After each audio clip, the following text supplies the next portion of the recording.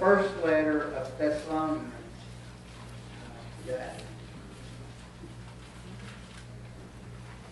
Paul is writing to this church with a thankful heart. And he's writing to commend them because of, of who they are and because of the church they are. Uh, Paul had planted this church on his first missionary journey.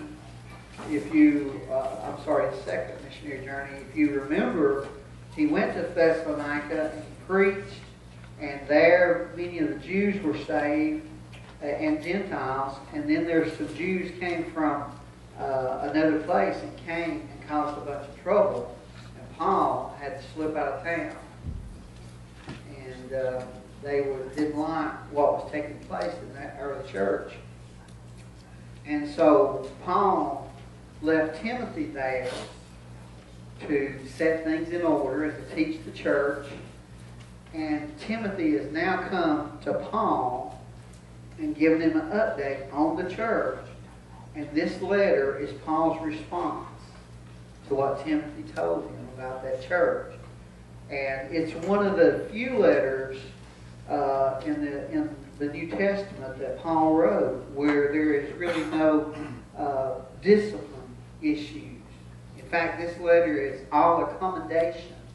He's thankful and he's commending them for who they are. And so uh, let's let's read it together. We'll begin in chapter one, uh, and we'll read all ten verses of this chapter. If you will, would you stand with me in honor of reading of God's word? And may God bless it to our hearing and our hearts today. The Bible says, Paul, Silvanus, that's Silas, and Timothy to the church of the Thessalonians in God, the Father and the Lord Jesus Christ. Grace to you and peace from God our Father and the Lord Jesus Christ. We give thanks to God always for you all. That we know Paul was from the south, for y'all. Making mention of you in our prayers. Remembering. That word remembering means to, to keep in mind without ceasing your work of faith, your labor of love, and your patience of hope in our Lord Jesus Christ in the sight of our God and Father. Knowing, beloved brethren, your election by God. For our gospel did not come to you in word only, but also in power and in the Holy Spirit and in much assurance. And as you know what kind of men we were among you for your sake. And you became followers of us and of the Lord. Having received the word in much affliction with joy of the Holy Spirit. So that you became examples to all who are in Macedonia and Achaia who believe. For from you the word of the Lord has sounded forth, not only in Macedonia and Achaia, but also in every place. Your faith toward God has gone out, so that we do not need to say anything. You've preached your own testimony, is what he's saying. For they themselves declare concerning us what manner of entry we had to you, and now you turn to God from idols to serve the living and true God, and to wait for his Son from heaven, whom he raised from the dead, even Jesus who delivers us from the wrath to come. Father, I ask you now to add your manifold blessings to the reading of your word. May your Holy Spirit be our teacher as we glorify you for a church that is a pastor's joy. In Jesus' name. Amen. I'm preaching today on the subject of pastor's joy. Now, Paul was not a pastor. He was a church planter. But this church caused Paul to have great joy because of their character and because of their clear testimony. He's commending them.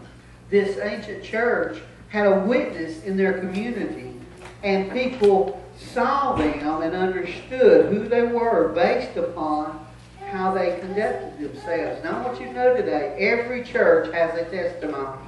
A church can have a good testimony, or a church can have a bad testimony.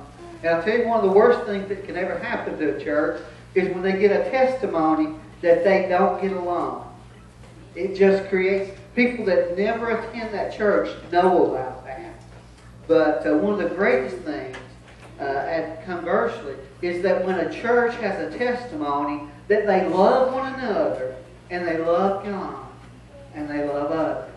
And I want you to know that's the testimony this church has had uh, for uh, seven and a half years. Is it seven and a half, eight years? I don't know, since 2007. I've lost track of time.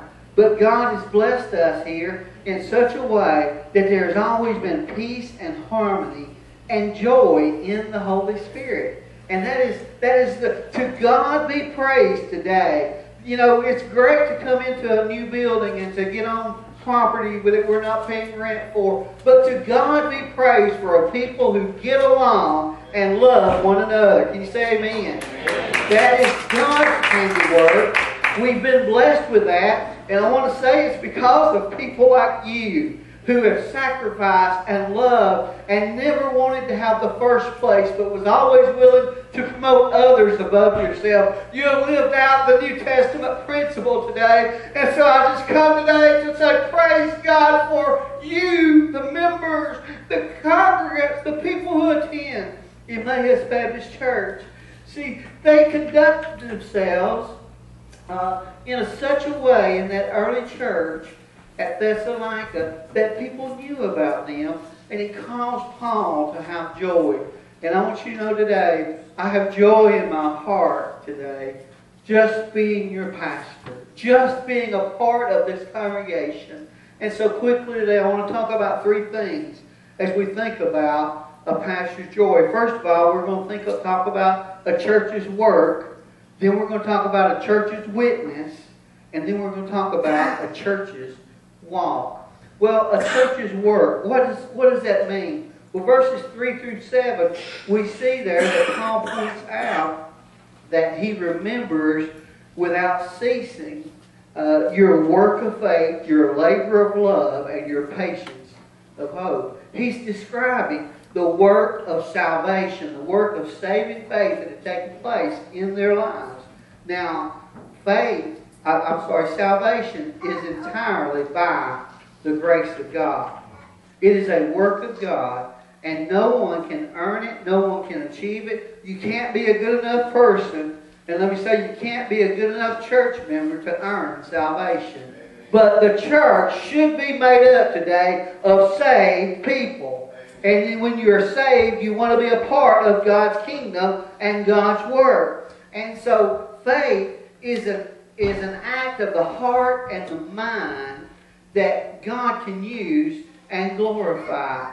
And so, uh, as he talks about this in verses 4 and 5, he's describing salvation. You see, in the Father's eyes, I was saved before the foundation of the world. The Bible says he gave his son before the foundation of the world. Before this world was ever made, God already made a plan for my salvation and for your salvation. Isn't that refreshing today to know? You may be wondering today, can I really truly be saved? Well, I want you to know God's already got a plan. He made it before He created the world for your salvation. In the Son's eyes, I was saved when He died on the cross. We sang that song, Worthy is the Lamb, whose hands were pierced, whose uh, side was pierced, and his, he wore that crown he was put on that cross. I was saved when Jesus died on the cross, according to Romans chapter 6. And in the eyes of the Spirit of God, I was saved when He drew me to Himself. Back in 1979 at Olivia Baptist Church, I heard the gospel. The Holy Spirit began to work on me and draw me, and I got the sweaty palm syndrome, and I got the nervous twitch, and I wanted to run out of there and get to the bathroom or do something to get away from what was what was happening. And uh, but God, uh, that through that day, through the Spirit, drew me to Himself, and I was saved that day. And want you know, I've been saved ever since that day. God, I've never lost it. I've never uh, wandered from it. I can't get away from it. In fact, the goodness of God says that He follows me everywhere I go. You see, if I go this way, He goes right with me. You know, there's been times that I've went the wrong way. How about you? There's been times that I have said, you know what? I believe I can go over here and I can act this way. And even though I'm supposed to be saved, I can do this. You know what? God came after me. He stayed right with me, and He reminded me through the power of His Spirit, said, You're saved. This is not even fun anymore. Aren't you miserable doing this? And I said, Yes, I am. And I'm just as quick as I can. I want to get back over here where God wants me to be. You see, there is a work of God that takes place in salvation, but there's also the work of serving faith that we saw there. He talked about their labor of love. That word labor has a means a, a wearying toil involving sweat and effort. A saved people is a busy people. If you're saved, you want to work for Him. You want to be a part of what He's doing. There's no time to sort of just lounge around. You want to be a part of His labor because you are saved. It causes you to want to work. In fact, the Bible says in Ephesians chapter 2 that we are God's masterpiece.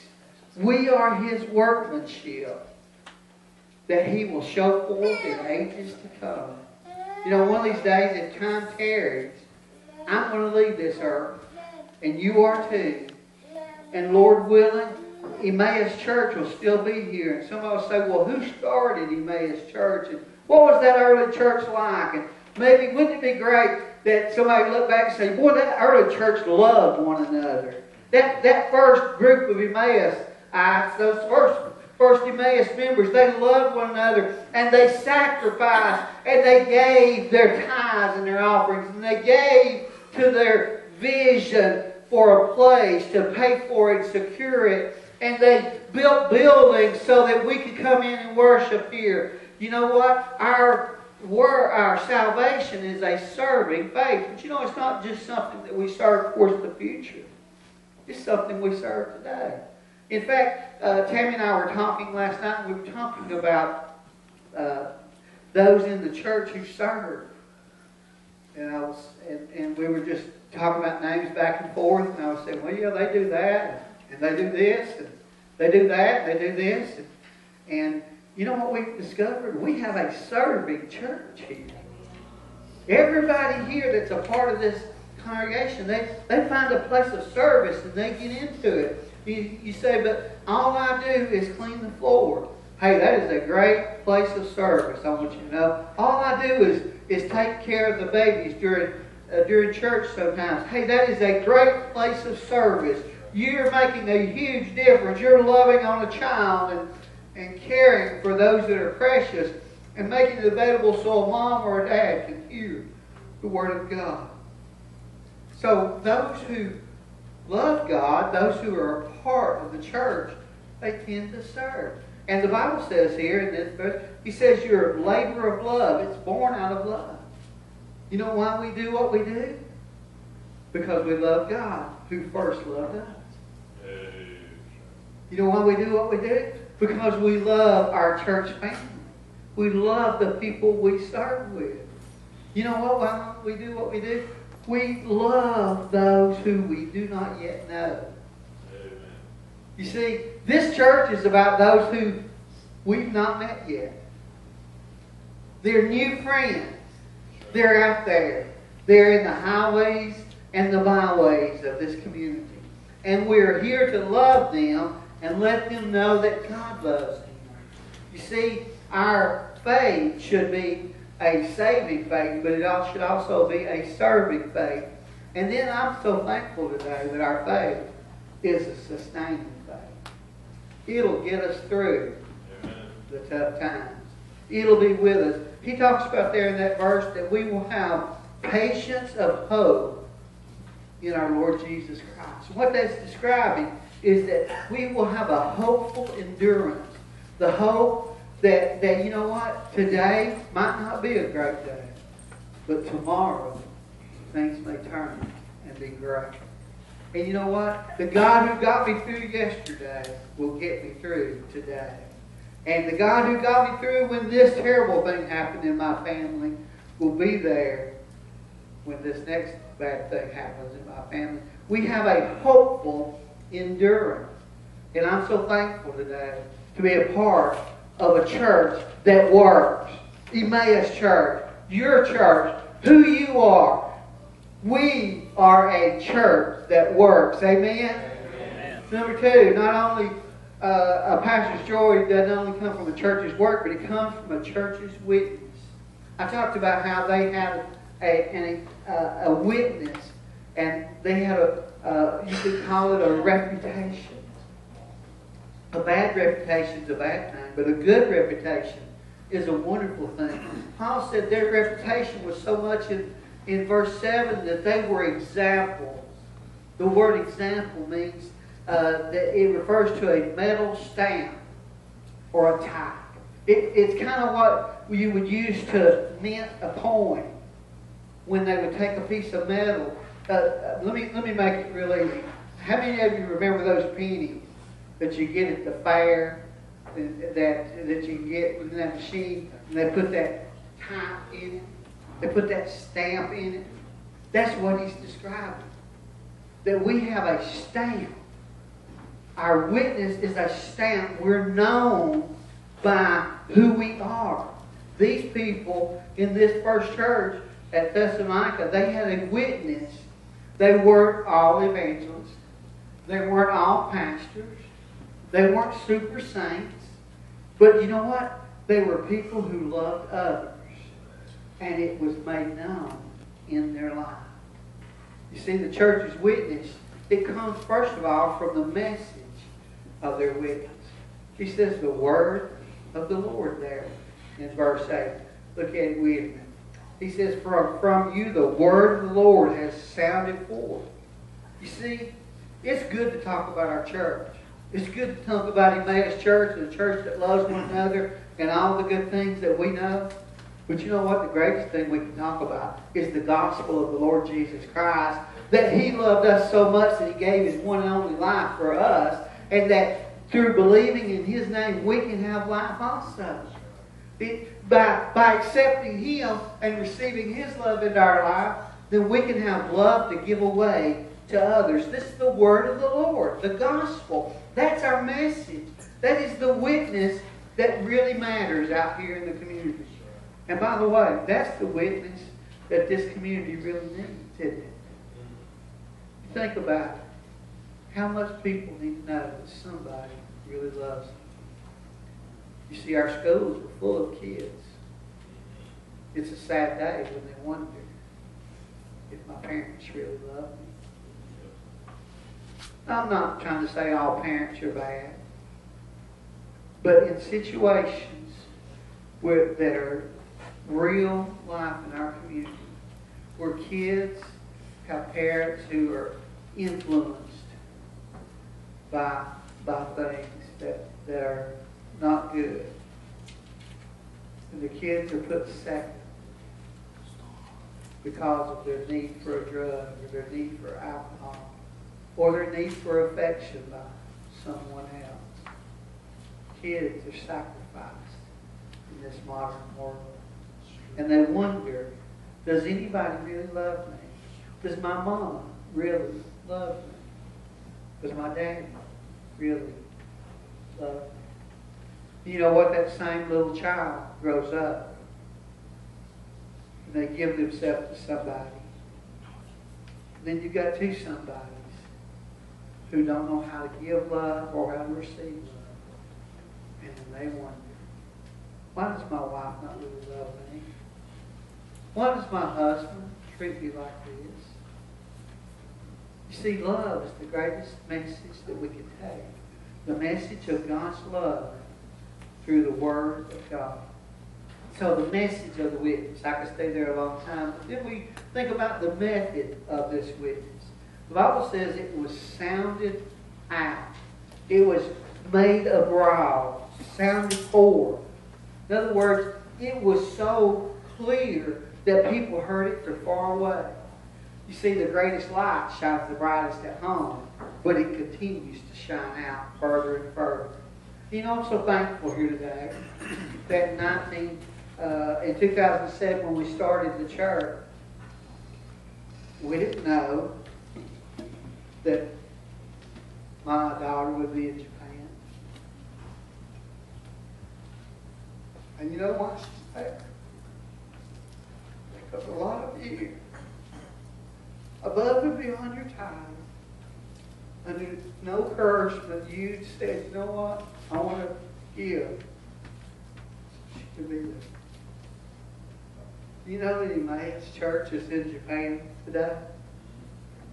But not just with Hannah, but Brett and Jeannie, they're back there today. Emmaus Church goes all over North Georgia. To those of you that support and give to their ministry.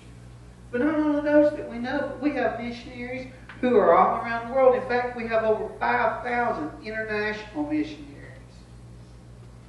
They each week, when you drop a dollar in offering plate, percentage of that goes. And there's people hearing the message of the gospel in India and China and Thailand and Russia and Hungary and every region of the world. You say, well, what if they're not open to the gospel? You know what? We have missionaries there. They're there. They're working as a goat herdsman and building relationships. They're doing things like that. And starting churches, getting Bible studies together, and sharing the message, message of the gospel. It's our method is, is spread abroad. But you know what? The greatest thing we can do is spread it abroad right here. Through our own mouth. And then the ministry of this witness. It, it, everywhere Paul went, people knew about this church.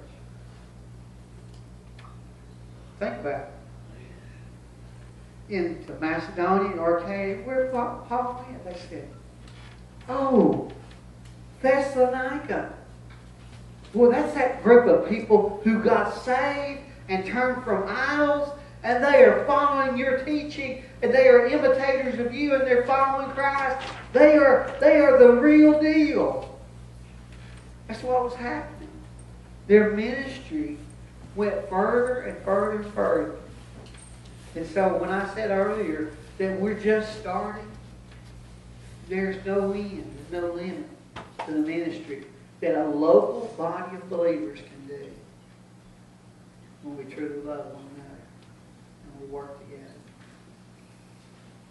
And I'll say, and follow the leadership of God called me. You know what? I, I, I got to give a plug, a, a, rose here for uh, the leadership in this church particularly the deacons. Uh, you know, we meet sometimes and, and we'll talk about something, and, and, and uh, somebody will say, well, what about this or what about that? But at the end of it all, they always say, well, you're the pastor. I can't tell you the times I've heard Rick Gallo tell me, you're the pastor, whatever you. They don't, they don't happen out here in Baptist churches, amen.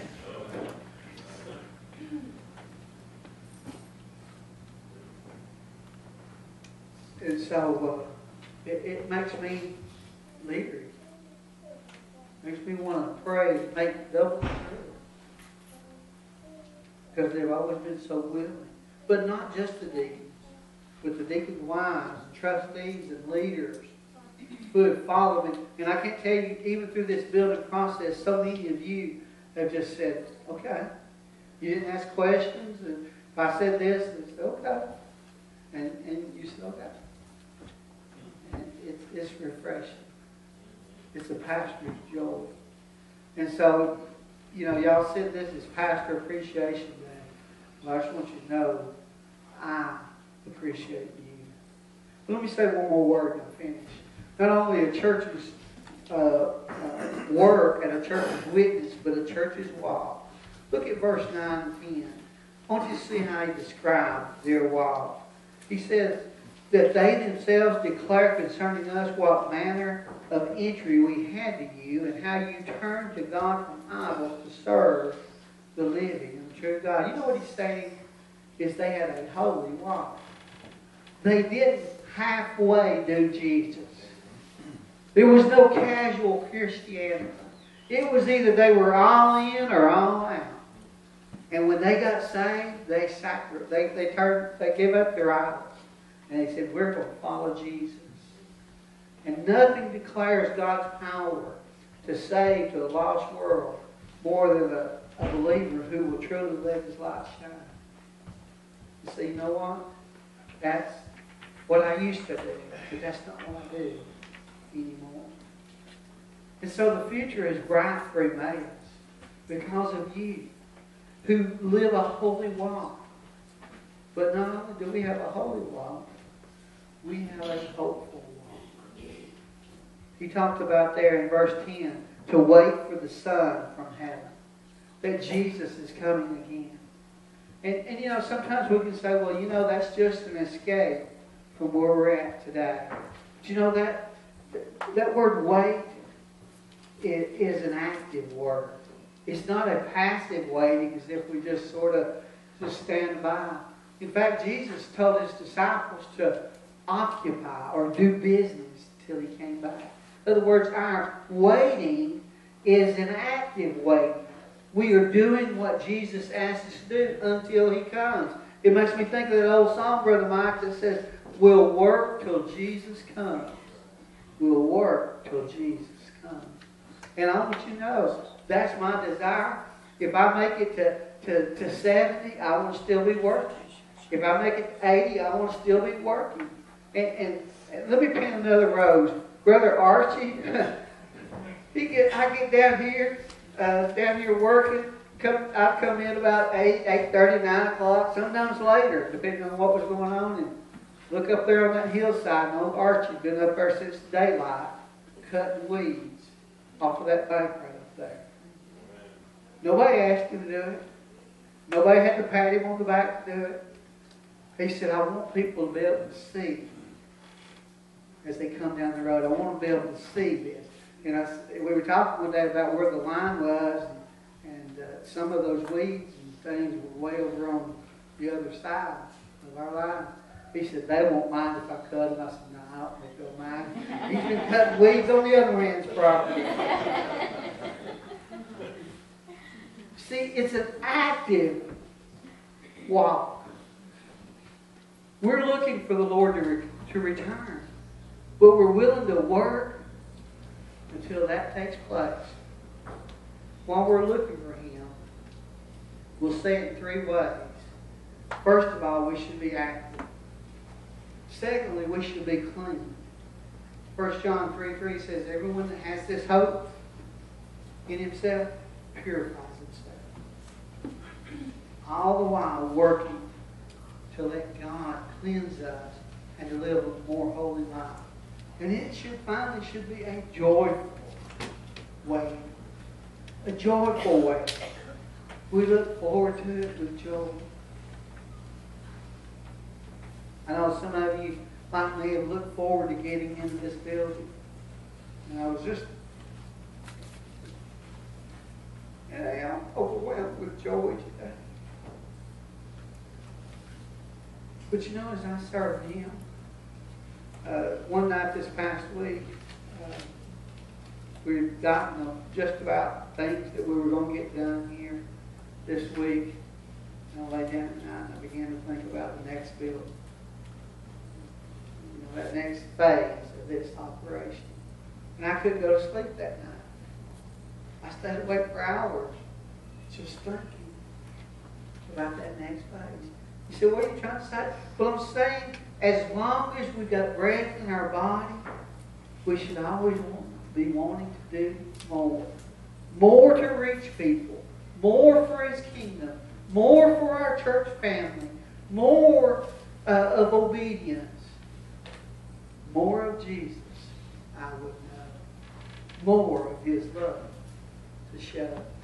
And so from this passage, this chapter this morning, we can see, you can break it down three or four ways. You can say, it talks about the elect. Those people who know God. The people who've been saved in verses 1 through 4. Have you been saved? Oh, I know you're a church member. You're a regular attender. I also know that church rows are full of people who have never truly trusted Christ. I'd love for you to be saved today. Not for me, or not even for this church. I'd love for you to be saved today for you. So you can experience what I've experienced about Jesus. But then secondly, we see in verses 5 through 7 that these people were an exemplary people. They were exemplary.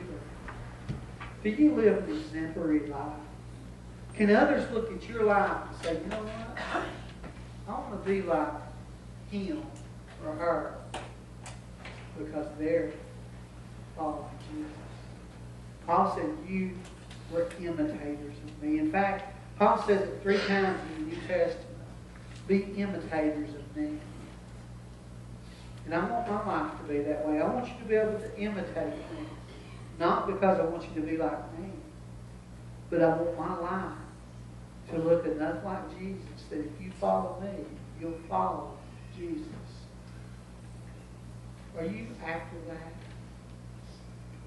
Or have you got casual about your faith? It would behoove you today. And it would be for your great joy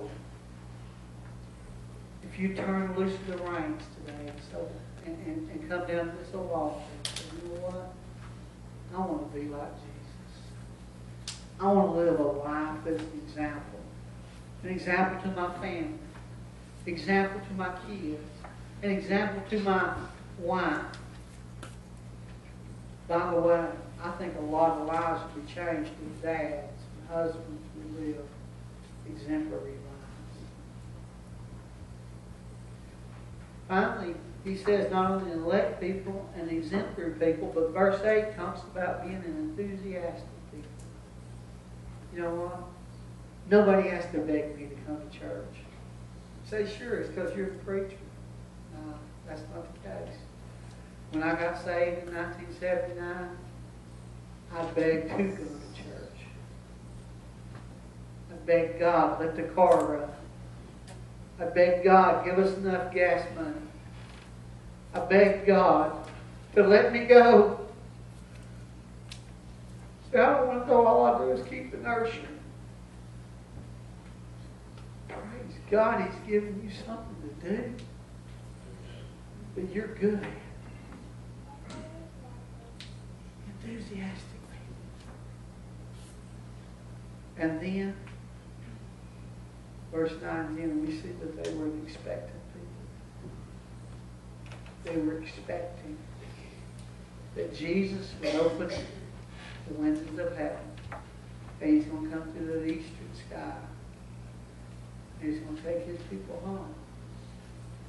And he's going to say to those who have been faithful, well done, my good faithful servant.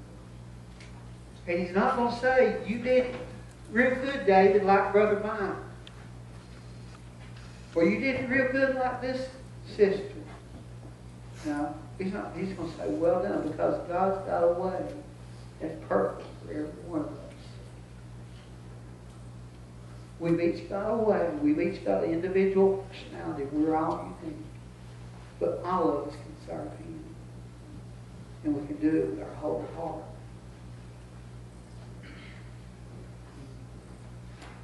And so because of that, there's nobody that's more important here today than anybody else. We're all one in Jesus. And so it's Pastor Appreciation Day, and I appreciate the sentiment. But I want to say to you, there's nobody here more important than you.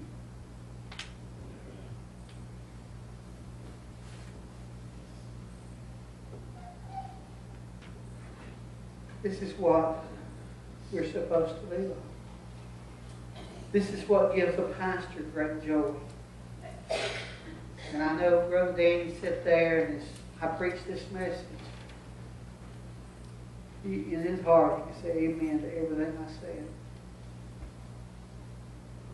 Because he hadn't always had it that way. He hadn't had a church that loved him like you love me. They should. I want to make my joy complete.